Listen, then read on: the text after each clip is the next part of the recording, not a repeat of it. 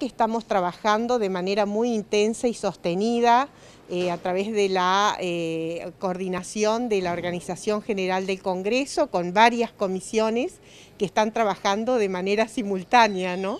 Así es que muy contentos por el nivel de respuestas, eh, tanto de nuestra comunidad universitaria, sobre todo de profesores y este, estudiantes graduados, y eh, también de otras universidades del país, ¿no?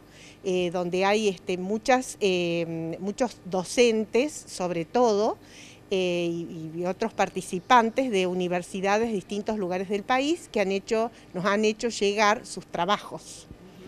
Eh, eh, ¿Ya cerró la recepción de trabajo? ¿Están en proceso de evaluación? Exactamente, sí. La convocatoria a la presentación de trabajos ha finalizado el 30 de junio pasado eh, y en general hay alrededor de 200 trabajos presentados hasta el momento.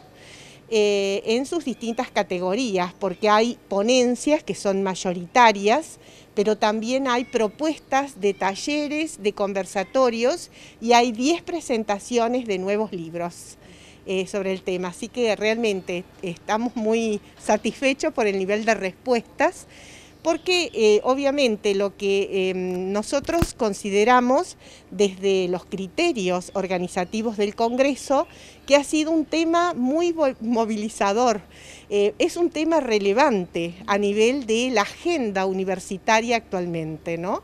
porque se trata nada más y nada menos que discutir de un espacio de discusión, eh, y debate sobre la formación universitaria, porque el currículo es eso, Em, así es que, eh, digamos, tanto desde la propuesta formal, que son los planes de estudio, como su eh, misma implementación a través de las prácticas eh, docentes y las prácticas de, enseñanza y de aprendizaje que tienen lugar en los distintos contextos de formación o áulicos. Así es que mm, realmente estamos muy, muy satisfechos, muy contentos. Eh, nos ha generado muchísima expectativa este, para mm, el desarrollo del Congreso en esos días, por la diversidad de temas y de trabajos presentados. Y, bueno, estamos este, eh, justamente tratando de viabilizar todos los caminos para que sea un, congreso que que responda a las expectativas de la comunidad este, universitaria, que generar un buen clima de comunicación, de intercambio, de debates que aporten efectivamente a la calidad y a la inclusión en la enseñanza universitaria. Profesora, por último, si bien estas propuestas que se han presentado se están analizando, aproximadamente cuándo eh, se podría conocer el cronograma definitivo de actividades, de ponencias y talleres.